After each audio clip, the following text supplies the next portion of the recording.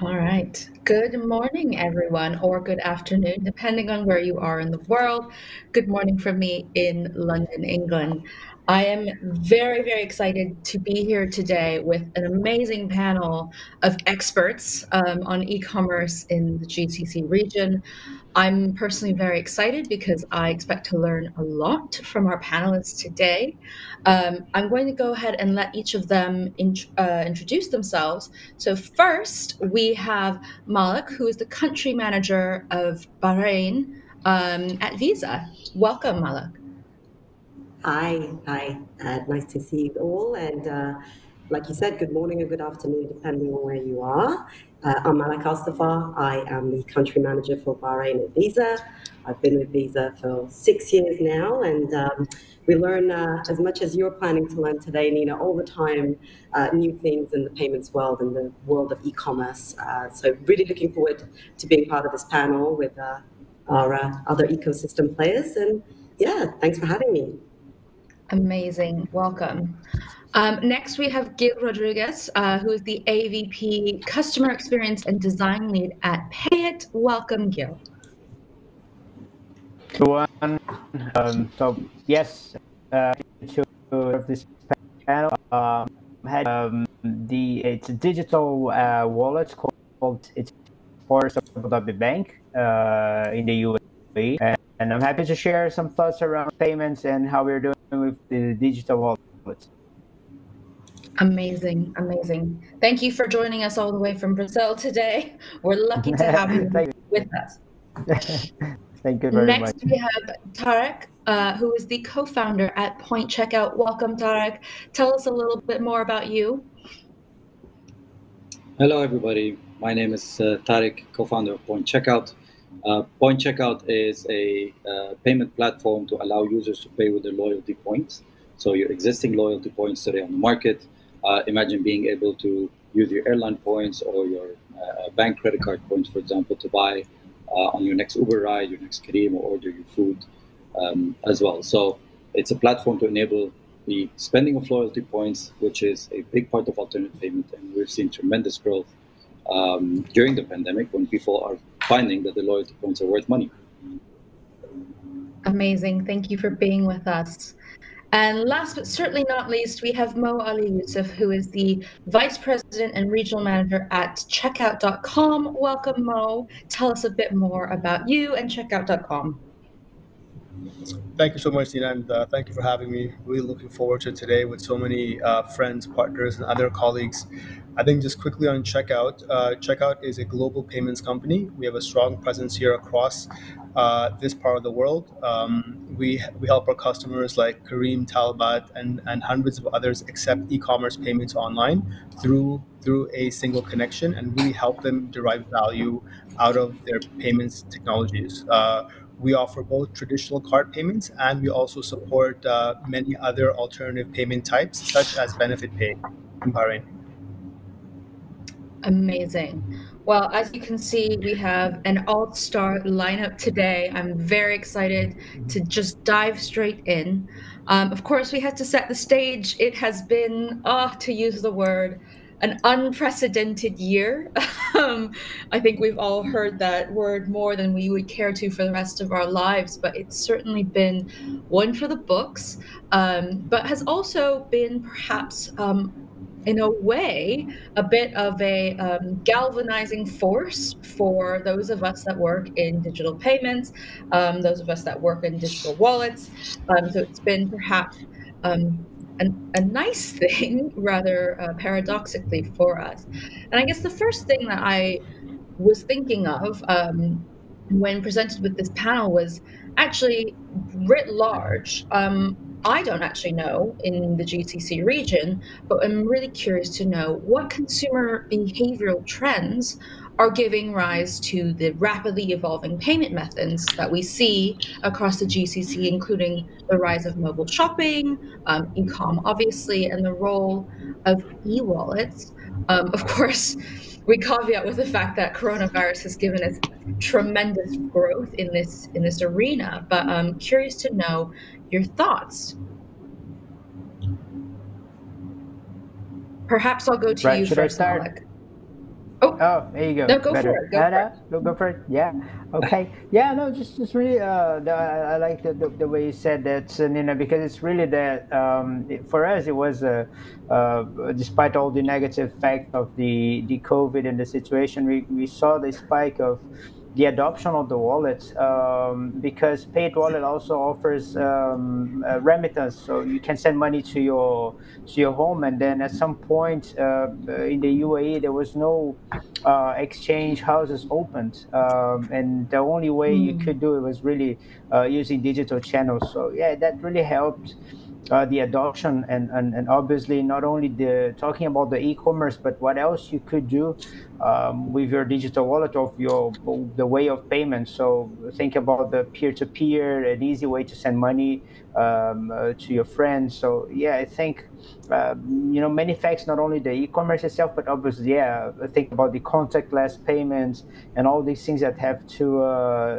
they grow you know uh, automatically because you had to um, and we were we were part of that. We were, we were player. Uh, digital wallets were part of this ecosystem, and we are we're new in the market. Still, we are about two years and a half, but we saw a, a good a good growth on that. So. Um, I think digital wallets uh, played a good part and will play, and, and I think uh, Payit and the initiatives that we have uh, specifically for the UAE is uh, along with the Klip wallet, which is going to be an ecosystem that will integrate digital wallets and other banks. I think that th- this will really help. Uh, again, uh, peer-to-peer uh, payments, uh, you know, all, all, types of payments, and obviously in partnership with other players, um, I'm sure we're going to be more present. Yeah. That's great to hear. Um, Malik, speaking of contact. Well. Oh, sorry. Tar, oh, go ahead.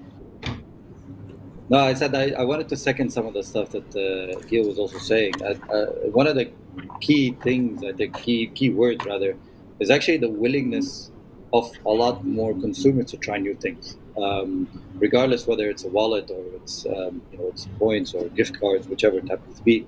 Um, but you know, we are seeing more and more even the, the older generation, which a lot of the times you're counting on the new generation uh, to say, okay, they're the more tech savvy, they're the ones that are, you know, generally on the phone a lot more um, as well. But um, the, the fact that the people are starting to seek alternate solutions uh, has definitely been a positive effect on the entire ecosystem as well. So again, whether it's, it's a wallet or paying with all other uh, forms of payments.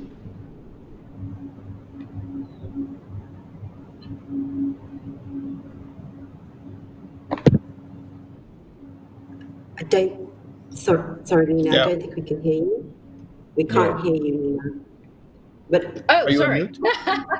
oh, you would think you would think a year later we've all been. Uh, are, is everyone on mute? Um, but that's the classic, so, right? Um, uh, someone's on mute.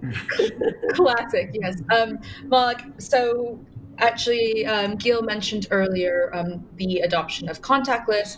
Having spoken to Cynthia LaCour yesterday from MasterCard, um, I'm sure you've seen something similar at Visa. And I'm curious for your perspective, um, along with you know e-commerce transactions and everything we've discussed so far. Yeah. So if I may, I'm going to take a, a lens back, right? Just even pre-COVID, we saw a rise in digital payments. Um, that is a main focus for us in the uh, payment scheme world, uh, driving contactless, driving digital, uh, the agenda of digital globally. Um, we really believe in that. And of course, then with coupled with COVID coming into play, uh, and then cash being this, you know, potential risk factor, um, we saw it exponentially change. We saw regulators and uh, the ecosystem quickly booming to adapt to the needs of what the consumers were looking for. Mm-hmm. So without saying, you know, goes that yes, we were already on a trajectory of driving contactless in quite developed markets, but we saw a surge of this in the emerging world as well. Um, and if we take the GCC as an example, we had certain countries that had already seen the establishment of contactless tokenization e-commerce. If you take Saudi Arabia and UAE as examples, and then we saw the others coming into play very, very quickly. Um, at the start of the pandemic, Bahrain is an example, classic example where you know um, the, the central bank really focused this agenda of let's get digital as quickly as possible um, to allow the people um, the alternative payment methods. Now, the need was there. The scale up happened faster than you ever would have seen previously. Um, and the adoption follows, right? Because the need is there. Now, the other side of it is, of course, that the consumer and, and what Tarek mentioned the, the necessity drove the behavior, even in sectors and segments where maybe historically we mm-hmm. wouldn't have expected it as much. Um, and what we found through the surveys that we ran recently is more than 50% of people that were new users of e-commerce or digital platforms would now use it going forward. Um, and we expect that to just continue to grow as well.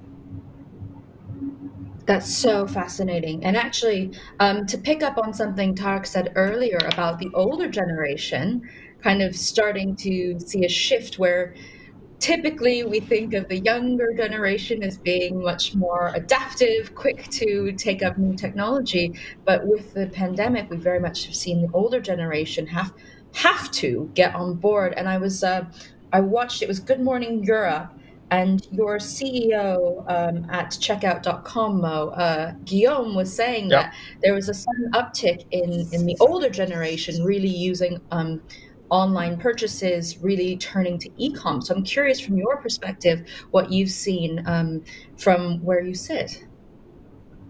Yeah, that's that's a that's a great point. I think there's sort of uh, two things I want to share with everyone. So first is that uh, last week's um, uh, Black Black you know Friday and uh, Cyber Monday, uh, there was a huge amount of sales uh, that happened, and because of the fact that people are now working at home, as opposed to the pre- previous years when we saw people shopping in morning or shopping at night, we saw people shopping throughout the whole entire day. And uh, because of that, we saw a 250% rise uh, in the amount of uh, the amount of uh, e-commerce shopping that happened versus the versus the previous year. And I think that the second thing that's that's super uh, insightful, just building on what everybody was saying, was that uh, we've recently published our first MENA e-commerce um, report, which which actually shares trends and insights from consumers, partners, uh, and many different uh, businesses who are online. And just some of the key findings are so insightful in terms of the, the direction that direction that online is going. So uh, the first uh, data point I wanted to share with everyone is that uh, uh, we see that online shopping is nearly Oh. Mo, I think we've lost you, Mo. Oh no, he was about to say something brilliant and undoubtedly as well. I was looking forward uh, to that um, sentence. I, I know, to yeah. like, data point. we're on the edge of our seats. Well, hopefully we're able to get Mo back. Uh, but uh, his point about people shopping all through the day now, let's hope that our, our employers are not aware of this fact and that we are shopping online during the day at work. Yeah. Um, something that I think about often. I think we in the industry um, oftentimes roll out a new payment uh, technology and we think in our bubble like this is the best thing ever like everyone is going to love this they're going to use it it's going to be so great um, but actually, from my own experience, and I was discussing this yesterday with Cynthia, there actually is a long lead up with education, oftentimes, right? The need to educate customers. Um, Gil, you mentioned Klip, and I know three weeks ago you um, you guys over at Pay um, introduced the QR codes where people could go and pay with the QR codes. And I think there's also an education piece that has to be done there. I know in your role with customer experience um, and, and design, you think a lot about customers. So maybe I'll start with you and ask how you've risen to the challenge of educating your customers on how to use these new um, technologies. Right. Now, that's a brilliant question, Nina, because um, I recall having um, a research, I think it was a year and something ago, uh, and that research was saying that, well, we are using QR codes since the beginning. And they say, well, it's, it's problematic because people do not understand that QR codes are for payments. Uh, and it's like, you know, that discussion about QR codes and so on. And now you see QR codes for the place. It's like for menus or for accesses or for, for anything, right? So it's just like for a matter of you know, maybe half a year, uh, that whole research was to the to the trash. Um, but yeah, it's definitely a challenge not only for how to payments but other functionalities on the app. And I think the best way we we try to do is, of course, with our marketing team, but uh, trying to create that customer journey there within the context, within the app, and within our partners, because we have the, the adoption of our merchants as well, accessing and and, and um, opening for a new payment. So it's not only on the customer side but also on the merchant side of how this new payment works because at the you know at the point of sale sometimes you get that resistance because oh my god another one that i have to learn and then how this thing works and you know yeah. and cashbacks oh you got cashback so how do i apply this so yes it's definitely a challenge um, we, so we, we often work with our marketing team to do a, a good propaganda around the new features uh, but a lot mm-hmm. on, on context based. So you do a transaction, you know, what's next, so the tip of the day and stuff like that, are really helping us to drive more engagement in the app. Amazing. Amazing. And and speaking of rewards, maybe if I can go to Tarek, I know that at Point Checkout you guys are doing um, a lot with rewards. And so have you found there to be a challenge in educating the customers the older generation that you mentioned, perhaps, um, on how to actually use Point Checkout, how to um, redeem these rewards. Yeah, I don't want to keep uh, being uh, being the one carrying the flag for the older generation. I'm not part of it, but, but, but they're definitely a very very important segment. Uh, they're certainly on over uh, uh, certainly on a very important segment uh, in, in, driving. So, I mean, there there are two key things that we are also you know seeing. First of all you know, most certainly the element of, of design and the user experience plays a tremendously important role, certainly for mm. first-time users. So uh, again, someone who's tech savvy, who's you know opened already a digital bank uh, through the app or has done two, three you know experiences on third-party apps just by seeing the ad and downloading them, is completely different than you know someone who's their first venture. And we see quite a lot of our own users, you know, that that could be paying with points. That would be the first interaction for them in online payments overall uh, because mm. one of their merchants. So uh, just you know taking it a step back. So we enable uh, the clients of reward programs to pay both online and we also have in-person payments as well. So let's say you know I'm I'm collecting points from one of the retailers and their app already tells me I have 10 dirhams or $10 worth of uh, worth of points. That mm-hmm. merchant, uh, or rather that you know reward program, is explaining to them where they can go ahead and spend it and a lot of those might not at all be uh, uh, you know the users who typically shop online. Um, so on one hand, yes, the element of design becomes extremely important to say, okay, if you are to create an account with Point Checkout, link your reward program, and go ahead and pay, it should be super easy, very seamless, and to some extent self-explanatory. And one of the things mm-hmm. that we also shifted a little bit during the pandemic um, as well is to work with merchants to get them to send that message to the clients as well so that part of that mm-hmm. element of the education comes directly from them. One of the things that we utilized uh, as well is using payment links. So um, uh, again, before it used to be, you know, you're shopping on the checkout page, it would tell you pay with points, uh, and then we enabled while you know people are maybe not necessarily shopping online, but more important, a lot of them weren't ready to accept payments online. Uh, so we enabled merchants to send payment links to their clients to say, hey, you want to pay I'll send you a link so that when it's initiated by the merchant, we find that you know the barrier is a little bit easier uh, uh, for a lot of the users to do as well. So the educational part works, element of design. Obviously, marketing is a big part of it to acquire users, and we utilize quite a lot of the merchants to also be able to uh, to work with their clients because they trust them much more than any third-party service at, uh, as well. Absolutely, and I think from where I sit um, in my day job, uh, working at Klarna, I know how important merchants are, those partnerships. Malak, I think um, a big part of Visa, and I think people tend to, there's a misconception that Visa, MasterCard, Amex, they're these old rails. You know you use your card it's easy. What is there really to think about in terms of new technology?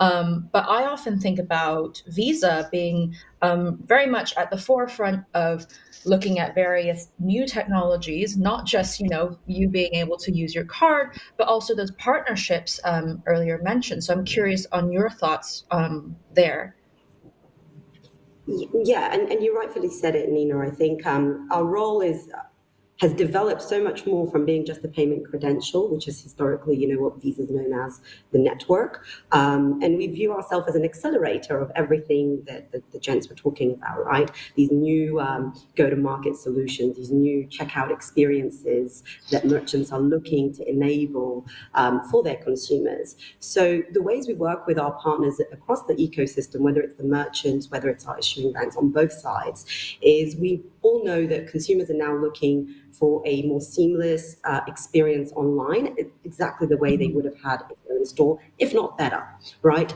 So everything we do is in, to, to create that flexibility of payments um, digitally for them. Now, one thing that's, you know, I'm, I'm sure a lot of my um, fellow panelists will, will agree, is this card abandonment issue that we see, right? Where you get to the checkout point and then because of the way you need to pay, uh, entering your card details now is actually a hassle. Historically, mm-hmm. that was like the technology was enabling you to shop online using your card, right? So we've mm-hmm. been advocating and working endlessly with our partners to change that experience uh, and keeping it flexible. You know, we keep exploring different ways of doing it. Click to pay is our recent. Um, uh, we recently launched it globally, where you can just your your credentials plus also your um, information is already stored. All you need to do is basically log in, and you're able to pay. Mm-hmm. Um, we've seen tokenization as a technology really boost um, the ability of different uh, token uh, tokenized solutions like Apple Pay being a payment factor uh, at the checkout mm-hmm. point. So all of those different varied experiences are making it faster, uh, simpler for the consumer. But I do want to take uh, a second to also mention something about the consumer education. So one part of it mm-hmm. is allowing consumers the, the chance to see points and rewards and loyalty. But on the back end, consumers also want to make sure that when they're transacting, these transactions are safe, secure, um, and and you know mm-hmm. are, are,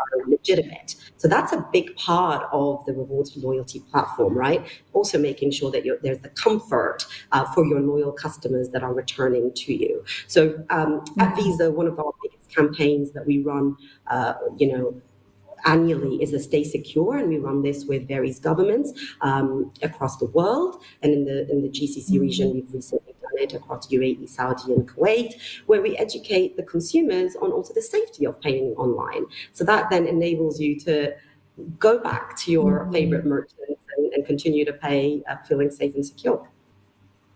Absolutely.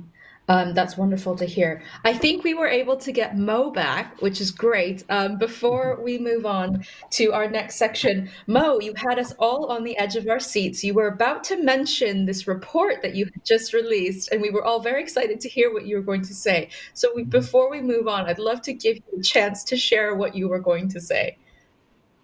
Thanks, Ina. I think uh, just um, uh, apologies for that. I'm not sure when exactly I, you know, cut off, so I'll just keep it brief. Uh, but basically, uh, Checkout has just released uh, its first MENA e-commerce report, which shares trends and insights from over 5,000 consumers, their region's top merchants and apps, and many of our partners, including Visa. Including Visa. Um, some of the key findings that I think we're really kind of building, building on, uh, on some of the early themes that we're, we were talking about uh, included the fact that online shopping is now universally present. So we found that the majority of the reasons of the region's consumers, almost 90%, have embraced online shopping, and more than half expect to shop online even more often. Second factor was mm-hmm. trust. Uh, historically, in the in this region, um, customers were always a little bit worried to put their card information online to actually make a digital payment online. They they kind of really preferred to make any kind of transaction using cold cold hard cash. And we found mm-hmm. that 81% of consumers now trust the safety and security of online payments, su- uh, suggesting a meaningful and positive shift in the sentiment towards digital payments. And the third uh, interesting stat was that COVID 19 uh, really has been a silver lining. Uh, we've seen our volumes at checkout almost double uh, in the past year, and we've got over a thousand new inquiries from merchants all across uh, this part of the world. and so that kind of really shows that uh, very, very quickly the whole ecosystem is understanding the uh, opportunity and really seeing this shift towards uh, on, on, online shopping. Wonderful. Thank you so much for sharing that. Um, talking about this acceptance, it's wonderful to hear from your report that you know 90% of, of people have tried online shopping now, which is always great. But now how do we retain these customers and make sure that they come back right? And this is always such a thing that we i think in our industry think about often. Um, so what i think about often is is it aligning incentives um, to be very academic but how are you thinking about aligning incentives um, incentivizing your customers with rewards um, lifestyle functionality and real-time payments to not just grow but also retain your customer base into next year, 2021, but beyond, I thought I would ask Tarek first, as he um, obviously has a lot of experience and rewards. So maybe I will um, let you start, Tarek. Yeah, no, absolutely. Um, see, I mean, the, the loyalty payments themselves have not are not new, right? So they've been around for, for quite a lot of time, and also at the same time, the the earning part, whether you're earning points or stars or miles or you know, whatever it happens to be, um, obviously has been around for a lot. So the pandemic presented quite a huge opportunity to use this, um, let's say, pool of points or rewards um, mm-hmm. to, on one hand, change behavior. Uh, I think this is really, really key as well. It's it's not so much about rewarding you for buying with me. It's a lot more now about changing the behavior that you're doing. So whether you're buying more often from me, or you're only coming to me, or um, you know, uh, making you spend more online rather than in store. Uh, and a few examples mm-hmm. that come to mind definitely come from the retail world. Um, one of the more famous, you know, uh, reward programs here is, for example, Sephora, where you know mm-hmm. typically, you know, they have quite a very good reward program, even a paid reward program, a monthly reward program. Uh, but one of the first simple things that they allowed you to do when the lockdown pandemics happened, say, oh, now you could use whatever points for to getting free shipping online. Just go shop online. It sounds so mm-hmm. simple. And they have, of course, the advantage of saying, you know, we have the pool, we, we don't need any external factor, if you will. Um, but uh, companies like Starbucks also have, you know, fantastic example in, in this regard, where people no longer used to come physically to Starbucks. Before you're, you know, you're spending uh, at Starbucks, you're buying, and then at the same time you're able to collect stars, they call them, and those stars you mm-hmm. can convert them into a gift card, a Starbucks gift card that you can only redeem in store. That all of a sudden is not available anymore. But they also still wanted to drive people to uh, to do it. So they partnered with PayPal, so you can load your stars into your PayPal wallet and still be able to do a digital payment, whether it be it online. Starbucks, you cannot buy much stuff online uh, for them as well. But that, that was quite a, a, fruitful partnership to change a lot of the behavior that they have as well, um, actually mm-hmm. for digital payments. So now that you have $20 worth of stars in your PayPal wallet, at the store when the store's opened, tap your pay your, your PayPal wallet to be able to pay with those stars. So that mm. completely shifted behavior to people paying less cash at Starbucks, which is one of the things, the main things that they wanted to achieve uh, as well with this reward program. So, you know, the the uh, the use of this to change behavior uh, is extremely powerful, which is exactly what we are also doing at, uh, at Point Checkout to really work with the brands, uh, specifically within the banking world as well. Obviously, it's a it's a nice mm. channel, and for us, it, it's always been surprising how a lot of the reward programs uh, do not properly communicate the value of the points and where people can redeem those points uh, to their users. A lot of the VIP users, I mean, uh, uh, all of us, they know some miles or, or points junkie somewhere who's you know always getting the maximum out of it. But remember that 95% of the users just don't know, just don't know. So we had quite a lot of uh, uh, users um, you know, upwards, I would say upwards of thousand users in the past couple of months that they're actually linking for the first time.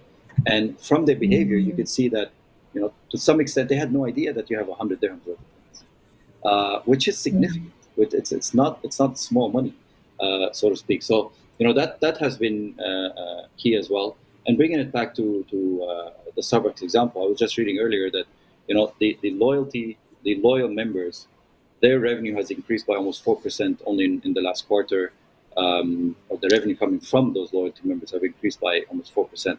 So, I mean, this is a huge, huge jump while getting your own members to, to actually, you know, utilize digital payments. So it's a very, very powerful tool uh, to use it, to utilize it. And this is really one of the things that we're working with a lot of reward programs to do it. And obviously payment partners as well. Fantastic. You know, as an American, I don't know whether to be uh, proud or shocked that Starbucks is so loved uh, where you are. But um, thinking kind of beyond this, you know, we t- touched also on lifestyle changes. And um, Mo, you mentioned when you introduced yourself, um, Checkout's partnership with Careem, which I think definitely falls into kind of that lifestyle category. If I could be chauffeured around for the rest of my life, I would happily do that. So I'm curious from your your point of view um, at Checkout how um, you guys are viewing loyalty and rewards, um, if at all.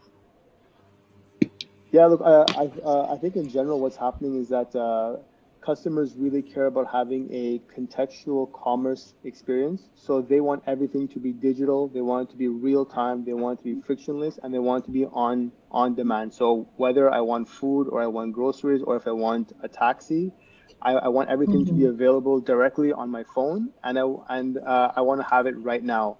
And what customers are starting to do is that they're actually taking their best experiences on their favorite app and there's and then they're now starting to export that into their expectations across every single other app.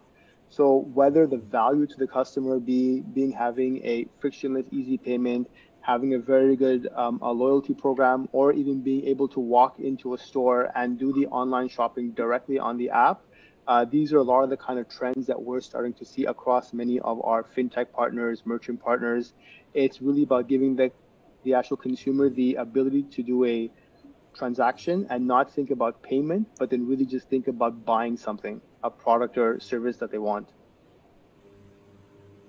Excellent, excellent. Now, um, in the interest of time, there I would like to move forward a bit um, and think more broadly, as we also have questions we want to get to. Um, but thinking about the strategies that um, maybe local service providers can be using using right now to stay ahead of the competition, um, whether that's through loyalty programs, whether that's through new technology, new payment options, cultural nuances. Malik, I thought I'd go to you first because I know Visa definitely has a soft spot for small businesses, um, but also just writ large local service providers. So keen to hear your thoughts. Yeah, so I think um, what we're seeing more commonly now, and, and, and you know, our biggest focus was supporting SMEs uh, locally in local markets is that with, with the pandemic, a lot of people being at home, we're really starting to focus on this shop local, shop um, you know, your own mm-hmm. uh, during this time. And what we find is that if you are the fastest mover and adopter, people are more likely to be dri- driven towards your um, your business. Uh, to Mo's point, I think a lot of our uh, partners um, are looking at you know enabling the experience and not only um, just buy what you need, but rather we are your first choice and top of mind um, when you are on your phone looking to make your purchase. Um, and, and, and that's the change that we're seeing, right? Your whole lifestyle has gone from leaving your house and seeing things and walking into a store to actually being able to condense all of that into a screen on your on your mobile phone. Um, and we mm-hmm. work backwards with some of our partners. We say actually to learn more about your your consumer, you need to digest that data appropriately and work backwards, sort of re-engineering it. Um, so yes, mm-hmm. this is the behavior we're noticing. How can we now build an experience around that to make sure that these um, consumers are returning to, to our businesses. So it's really multifaceted, looking at it from various angles, whether it's a payment, whether it's the loyalty, whether it's the experience, it's all coming down to, you know, being the first mover in that element and making sure that you're addressing all these different form factors for your for your um, consumers.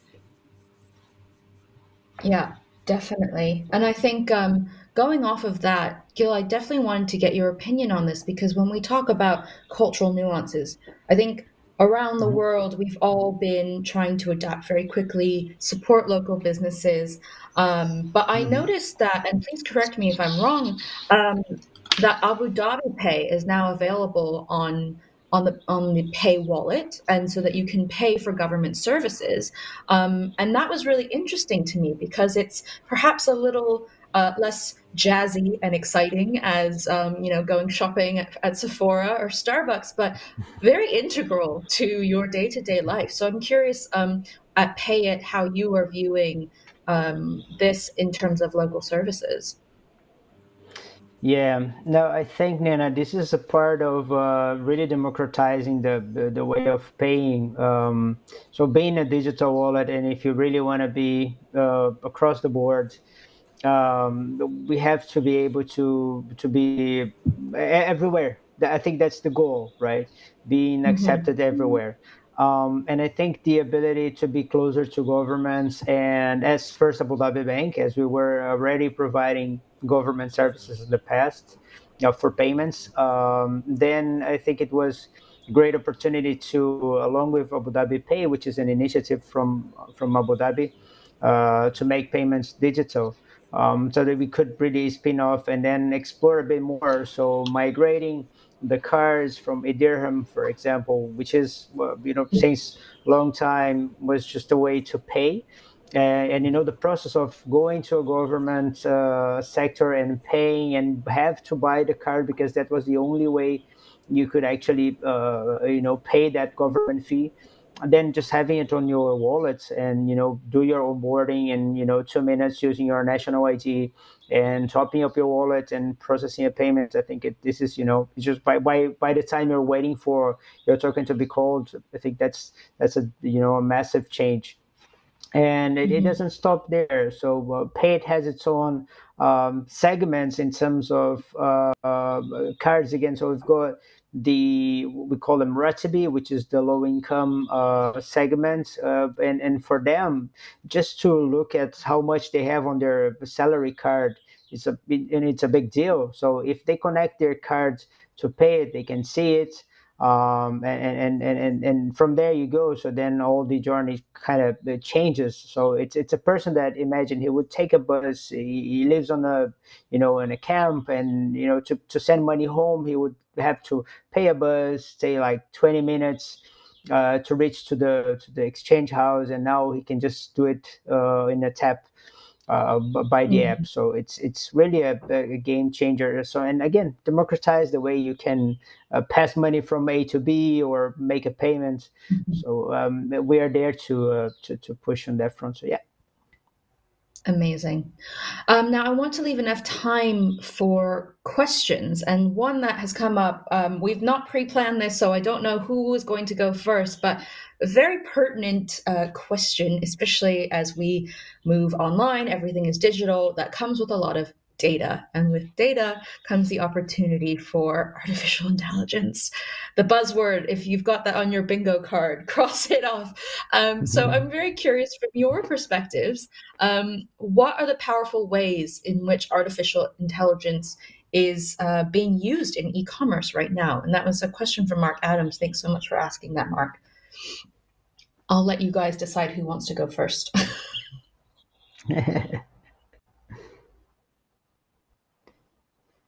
yeah.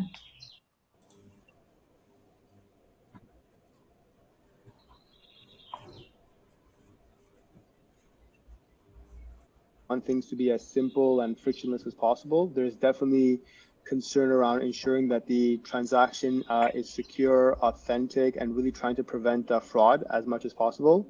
So we have a mm-hmm. machine learning based risk platform that basically evaluates every single transaction uh, that's happening in uh, real time and um, uh, and looking at a host of different parameters to basically ensure that this transaction is actually authentic um, uh, as possible. And I think there's a lot of uh, applications of um, uh, machine learning um, um, and all these kinds of things that are really starting to to sort of come into play that really work in the background that may be invisible mm-hmm. to the actual consumer that's actually making the uh, payment, but uh, but but they really work hard to actually ensure the overall integrity of the uh, payment transaction.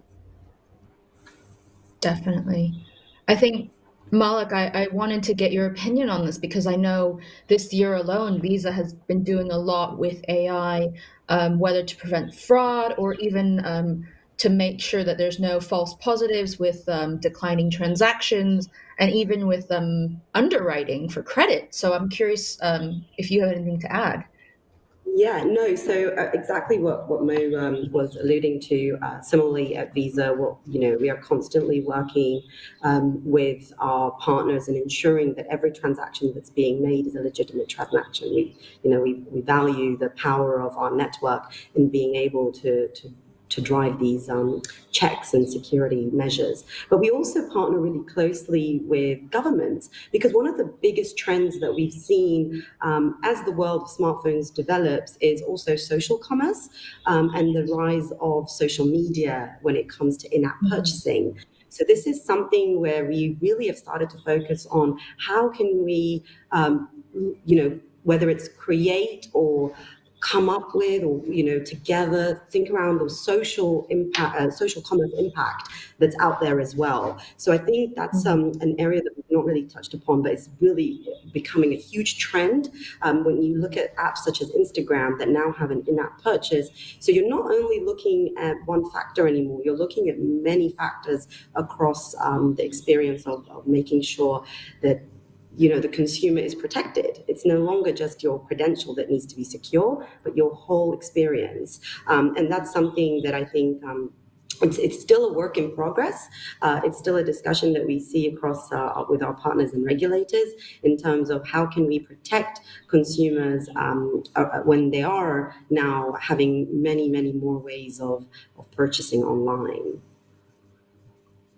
That's great to hear. I am uh, I'm always shocked by how accurate the Instagram algorithm is at uh, at choosing what I should buy next. It's it's a little bit scary actually. Exactly. Um, one of the yeah. other one of the other questions we have is um, how do personalized loyalty programs improve shopping experience? Um, so, uh, anyone, Tarek, perhaps maybe you'd like to start.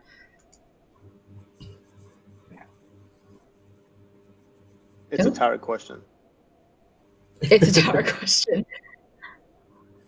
Tarek, how how is personalized loyalty um, changing shopping experiences? I think you're on oh, mute. Um, yeah.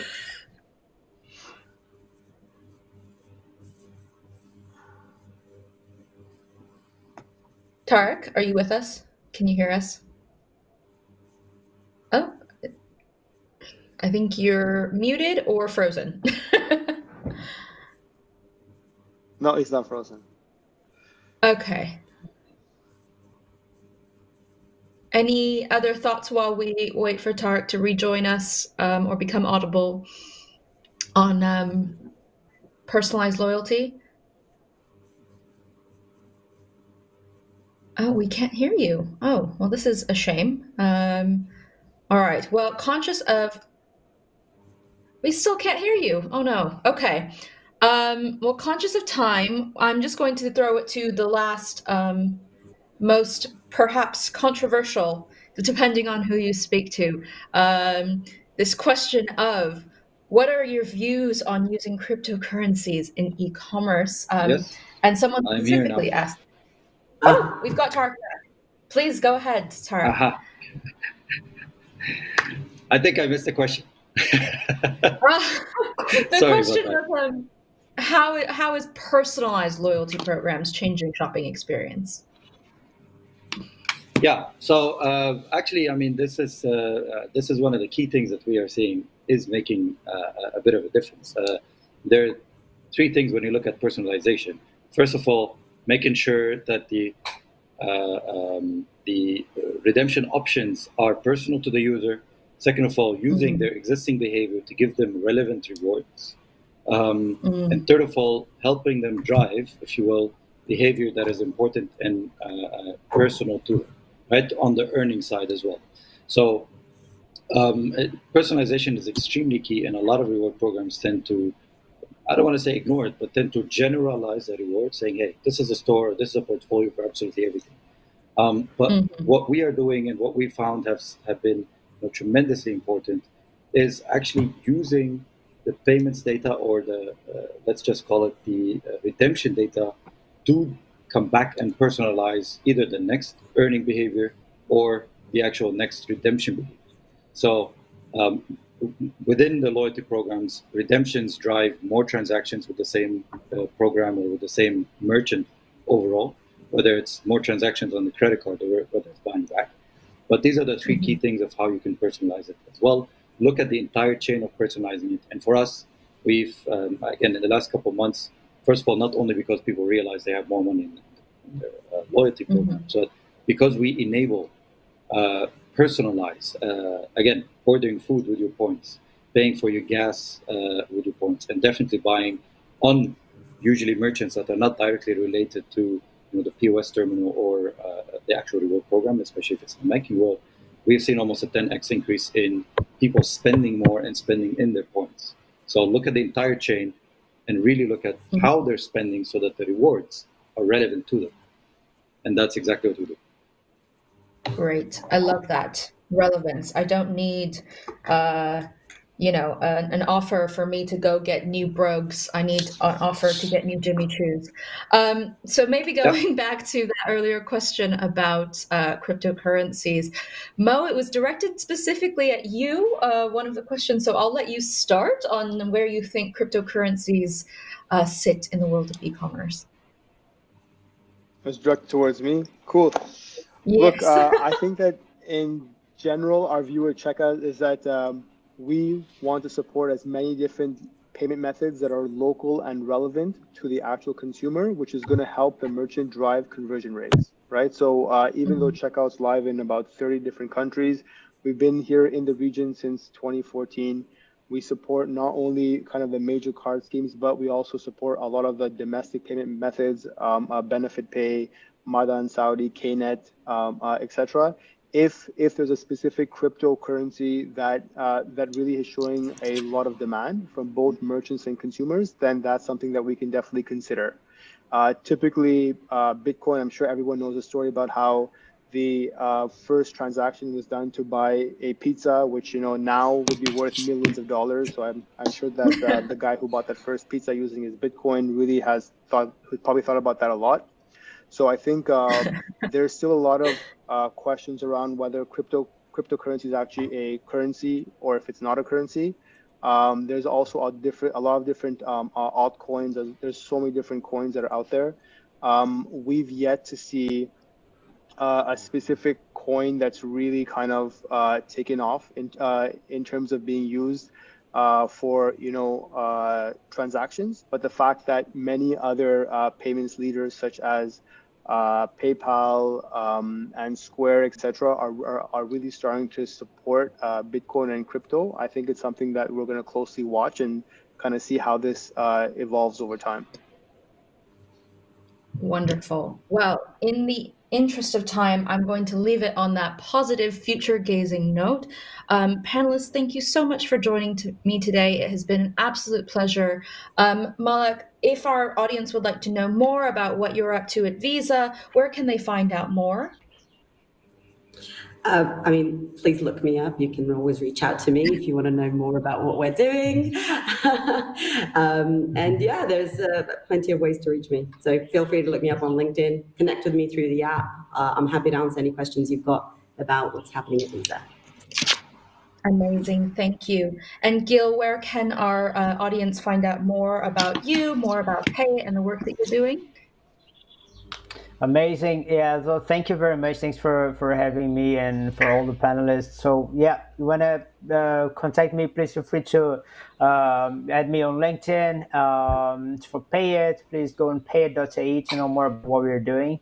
Uh, we do have a pioneer program, which is really cool. If you want to, you know, participate in our uh, user testing and UX uh, workshops, uh, feel free and sign up over there. And then I'm happy to share some thoughts around digital wallets, coffee or motorcycle, classic cars, all for it. Amazing. Thank you so much for getting up early and joining us. We really appreciate it. Um, obrigado. Um, Tarek, where can, where can our um, audience find out more about you and Point Checkout? Yeah, so pointcheckout.com is our uh, excuse me, pointcheckout.com is our domain name. Uh, I'm also obviously available on, on uh, LinkedIn. Please get in touch. Today we are live in uh, in Jordan, in UAE, and about to launch two uh, new key markets also coming up in the GCC as well. So please reach out if you're a merchant want to accept points or a reward program that want to have your points being spent on our merchant. Wonderful. And you and I can meet up for a Starbucks one day. And last but certainly not Pay with your least, points at Starbucks. Yes, we'll we'll redeem our stars at Starbucks together. Uh, last but certainly not least, Mo, um, thank you again for joining us. Uh, where can our audience find out more about you or checkout.com? Yeah, uh, first I think thank you to Nina and everyone else on the call. Uh, super uh, insightful talk uh, this afternoon.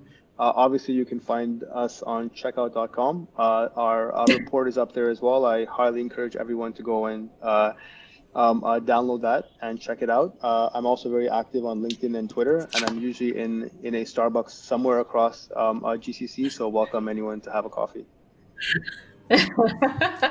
Wonderful. Mm-hmm. Uh, well, thank you so much, panelists, and I hope we get to meet in real life next year um, at the next ePay Summit. Thank you so much for joining us today. Thank Cheers. You.